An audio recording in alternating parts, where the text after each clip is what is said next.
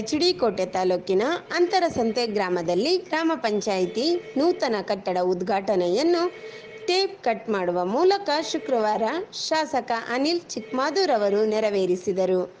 ವರದಿ ಮಹದೇವಸ್ವಾಮಿ.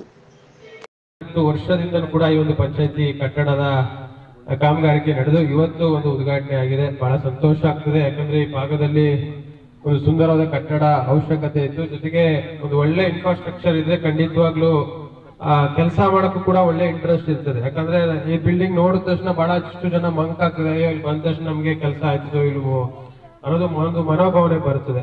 ಅದರಿಂದ ಒಂದು ಸುಂದರವಾದ ಕಟ್ಟಡವನ್ನು ನಿರ್ವಹಣೆಯನ್ನು ಮಾಡಿ ಇವತ್ತು ನೂತನವಾಗಿ ಆಯ್ಕೆಯಾದಂತ ಗೌರವಿತ ಗ್ರಾಮ ಪಂಚಾಯತಿ ಅಧ್ಯಕ್ಷರು ಆದಂತ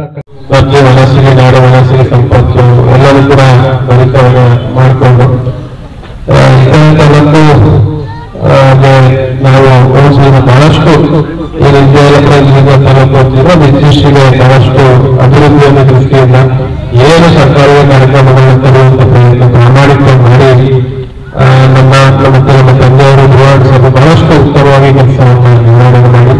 ನಾನು ಕೂಡ ಒಂದು ಹೆಚ್ಚು ಮುಂದೆ ಹೋಗಿ ಏನೇನು ಕಾರ್ಯಕ್ರಮವನ್ನು ಈ ತಾಲೂಕಿಗೆ ರೂಪಿಸಬೇಕು, ಯಾವ ರೀತಿ ಮಾಡಬೇಕು ಅಂತ ಕೂಡ ಆಲ್ರೆಡಿ ಸುಮಾರು ಮುನ್ನೂರ ಐವತ್ತು ಕೋಟಿಯಿಂದ ನಾನೂರು ಕೋಟಿ ಮಾಡಿ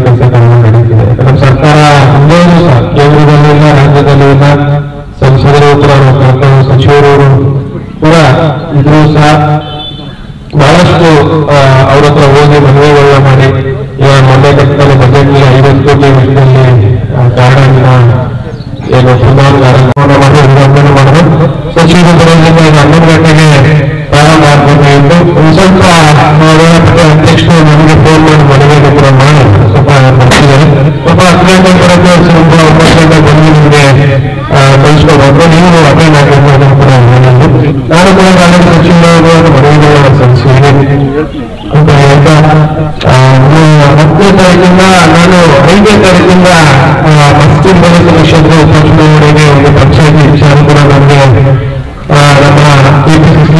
ಅಧ್ಯಕ್ಷ ದಿನೇಶ್ ಕುಮಾರ್ ಸಾಹೇಬ್ ಮತ್ತು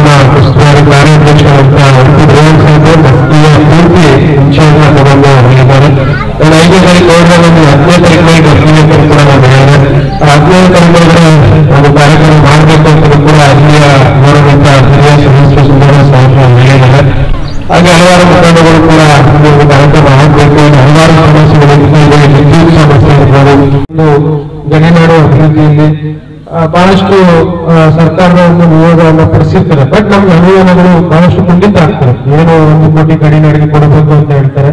ಯಾವುದೇ ರೀತಿ ಅನುದಾನಗಳು ಕೊಡಲ್ಲ ಒಂದು ಹದಿನೈದು ಲಕ್ಷ, ಇಪ್ಪತ್ತು ಲಕ್ಷ ಕೊಟ್ಬಿಟ್ಟು ನಮ್ಮ ಕೈ ನಾವು ಕೂಡ ಸರ್ಕಾರಕ್ಕೆ ಹಲವಾರು ಬಾರಿ ಒತ್ತಾಯನ ಮಾಡಿರಿ ಗಡಿನಾಡು ಅಭಿವೃದ್ಧಿಗೆ ಪ್ರಾಧಿಕಾರಕ್ಕೆ ಅನುದಾನವನ್ನು ಉಳಿಸ್ಕೊಡಿ ಅಂತ ಕೂಡ ಸರ್ಕಾರಕ್ಕೆ ಹಲವಾರು ಬಾರಿ ಮನವಿ ಮಾಡಿದ್ದೀವಿ ಆ ಅನುದಾನಗಳು ಬಂದ್ರೆ ಇವಾಗ ಒಂದು ಅಂತರಸಂತೆ ಭಾಗಕ್ಕೆ ಬಹಳಷ್ಟು ಅನುಕೂಲ ಆಗ್ತದೆ. ಇಲ್ಲಿ ಏನೇನು ರಸ್ತೆಗಳು ಇರ್ಬೋದು, ರೈಲ್ವೆ ಬ್ಯಾರಿಗೇಡ್ ಇರ್ಬೋದು, ಈ ಇತರ ಫೆಸಿಲಿಟೀಸ್ ಕೊಡುವಂತ ವ್ಯವಸ್ಥೆ ಕೂಡ ನಾವು ಮಾಡ್ಬೋದು ಮತ್ತೆ ಮಲೆನಾಡು ಅಭಿವೃದ್ಧಿಗೂ ಕೂಡ ಸೇರ್ತದೆ. ಯಾಕಂದ್ರೆ ಅಂತರಸಂತೆ ಅದಕ್ಕೂ ಕೂಡ ಸೇರ್ತದೆ. ಯಾಕಂದ್ರೆ ಮಳೆ ಇರೋದ್ರಿಂದ ಹರಿತ ಮಲೆನಾಡು ಅಭಿವೃದ್ಧಿ ಕೂಡ ಸೇರ್ತದೆ ಆ, ಬಹಳಷ್ಟು ಸರ್ಕಾರದ ಯೋಜನೆಗಳಿದೆ ಹಾಗಾಗಿ ಸರ್ಕಾರದ ಅನುದಾನಗಳು ಸ್ವಲ್ಪ ಕೊಟ್ಟಿದ್ದ ಆಗಿರೋದ್ರಿಂದ ಆ, ಈ ಒಂದು ಏನು ಹಿರಿಯರು ಮಾತಾಡ್ಬೇಕಾದ್ರೆ ಸಾಕಷ್ಟು ಒಂದು ಸಲಹೆ ಸಹಕಾರವನ್ನು ಕೊಟ್ಟು ಈ ಒಂದು ಈಗ ಸೋಗಳಿಂದ ಅಂತಸಂತೆವರೆಗೂ ಬೇಕು ಅಂತ ಕೇಳಿದ್ದಾರೆ ಮತ್ತೆ ಬಸ್ ವ್ಯವಸ್ಥೆ ಬೇಕು ಅಂತ ಕೇಳಿದ್ದಾರೆ ಈ ವಿಚಾರವಾಗಿ ತಾವು ಹೇಳ್ತಿರೋದು ಎರಡೆರಡು ಬಸ್ ಬರ್ತೀವಿ ಹೋಗುವಂತ ಆಲ್ರೆಡಿ ಜೊತೆ ಮಾತಾಡಿದ್ದೀನಿ. ಯಾಕಂದ್ರೆ ಕೋವಿಡ್ ಇದ್ದಂತ ಸಂದರ್ಭದಲ್ಲಿ ಬಸ್ಗಳು ಜನಸಂಖ್ಯೆ ಓಡಾಡ್ತಿರ್ಲಿಲ್ಲ. ಈಗ ಮತ್ತೆ ಮತ್ತೆ ಸ್ಟಾರ್ಟ್ ಆಗಿದೆ.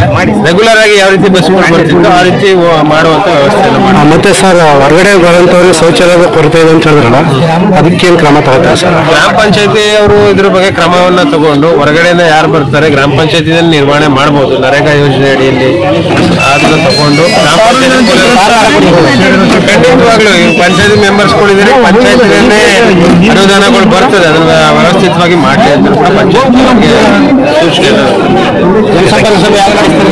ಮತ್ತೆ ಹದಿನಾಲ್ಕು ಇಲ್ಲಾಂದ್ರೆ ಹದಿಮೂರನೇ ತಾರೀಕು ಎರಡು ದಿನದಲ್ಲಿ ಒಂದು ದಿನ ನಾನು ಎಲ್ಲ ಅಧಿಕಾರಿಗಳು ಬರ್ತಾರೆ? ಖಂಡಿತವಾಗ್ಲು.